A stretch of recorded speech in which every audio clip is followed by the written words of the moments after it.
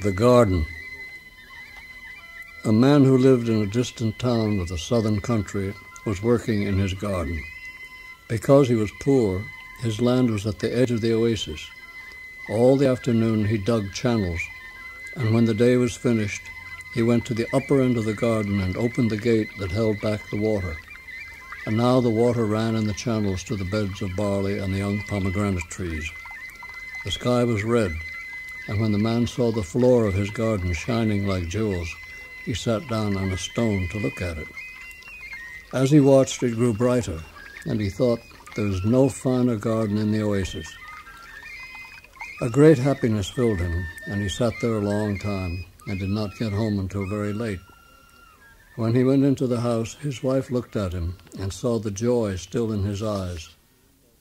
He has found a treasure, she thought, but she said nothing. When they sat face to face at the evening meal, the man was still remembering his garden, and it seemed to him that now that he had known this happiness, never again would he be without it. He was silent as he ate. His wife, too, was silent. He's thinking of the treasure, she said to herself, and she was angry, believing that he did not want to share his secret with her. The next morning she went to the house of an old woman and bought many herbs and powders from her. She took them home and passed several days mixing and cooking them until she had made the medicine she wanted. Then, at each meal, she began to put a little of the tseuheur into her husband's food. It was not long before the man fell ill. For a time he went each day to his garden to work but often when he got there he was so weak that he could merely sit leaning against a palm tree. He had a sharp sound in his ears, and he could not follow his thoughts as they came to him. In spite of this, each day when the sun went down and he saw the garden shining red in its light, he was happy. And when he got home at night, his wife could see that there was joy in his eyes. He's been counting the treasure, she thought and she began to go secretly to the garden to watch him from behind the trees.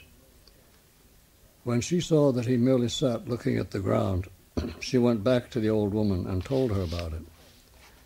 You must hurry and make him talk before he forgets where he has hidden the treasure, said the old woman. That night the wife put a great amount of her into his food. When they were drinking tea afterward, she began to say many sweet words to him. The man only smiled. She tried for a long time to make him speak, but he merely shrugged his shoulders and made motions with his hands. The next morning, while he was still asleep, she went back to the old woman and told her that the man could no longer speak. You have given him too much, the old woman said. He will never tell you his secret now. The only thing for you to do is go away quickly before he dies. The woman ran home her husband lay on the mat with his mouth open. She packed her clothing and left the town that morning. For three days the man lay in a deep sleep. The fourth day, when he awoke, it was as if he had made a voyage to the other side of the world. He was very hungry, but all he could find in the house was a piece of dry bread. When he had eaten that, he walked to his garden at the edge of the oasis and picked many figs. Then he sat down and ate them. In his mind there was no thought of his wife, because he had forgotten her. When a neighbor came by and called to him, he answered politely, as if speaking to a stranger, and the neighbor went away perplexed. Little by little the man grew healthy once more. He worked each day in the garden.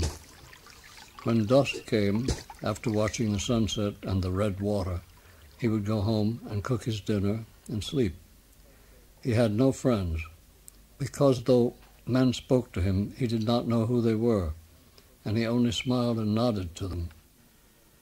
Then the people in the town began to notice that he no longer went to the mosque to pray. They spoke about this among themselves, and one evening the imam went to the man's house to talk with him. As they sat there, the imam listened for sounds of the man's wife in the house. Out of courtesy, he could not mention her, but he was thinking about her and asking himself where she might be. He went away from the house full of doubts. The man went on living his life, but the people of the town now talked of little else. They whispered that he had killed his wife, and many of them wanted to go together and search the house for her remains. The Imam spoke against this idea, saying that he would go and talk again with the man. And this time he went all the way to the garden at the edge of the oasis and found him there working happily with the plants and the trees. He watched him for a while and then he walked closer and spoke a few words with him. It was late in the afternoon. The sun was sinking in the west, and the water on the ground began to be red. Presently the man said to the Imam, The garden is beautiful. Beautiful or not beautiful, said the Imam, you should be giving thanks to Allah for allowing you to have it. Allah, said the man, who is that? I never heard of him. I made this garden myself. I dug every channel and planted every tree, and no one helped me. I have no debts to anyone. The Imam had turned pale. He flung out his arm and struck the man very hard in the face. Then he went quickly out of the garden. The man stood with his hand to his cheek.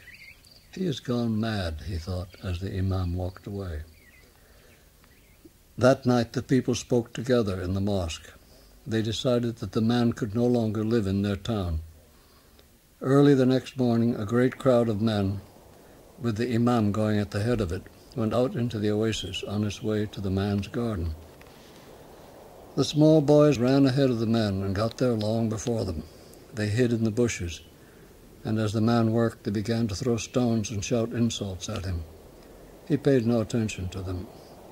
Then a stone hit the back of his head, he jumped up quickly. As they ran away, one of them fell and the man caught him. He tried to hold him still so he could ask him, Why are you throwing stones at me? But the boy only screamed and struggled. And the townspeople who were on their way heard the screaming and they came running to the garden. They pulled the boy away from him and began to strike at the man with hoes and sickles. When they had destroyed him, they left him there with his head lying in one of the channels and went back to the town, giving thanks to Allah that the boy was safe. Little by little the trees died, and very soon the garden was gone. Only the desert was there.